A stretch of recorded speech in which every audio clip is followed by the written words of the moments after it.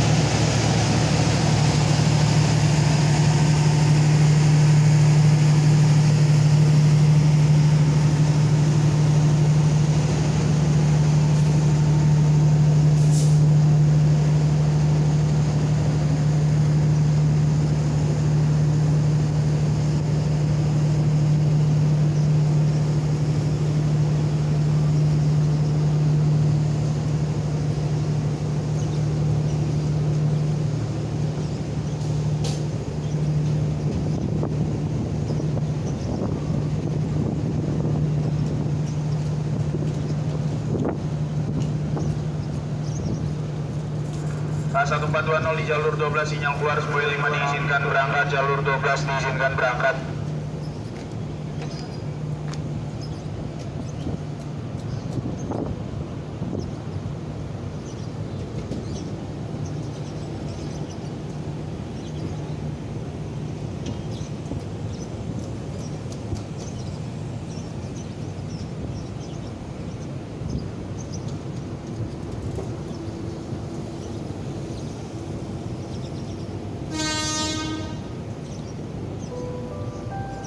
Jalur 8 tersedia tujuan Tanjung Priuk, jalur 10 tujuan Cikarang, jalur 11 tujuan Bogor.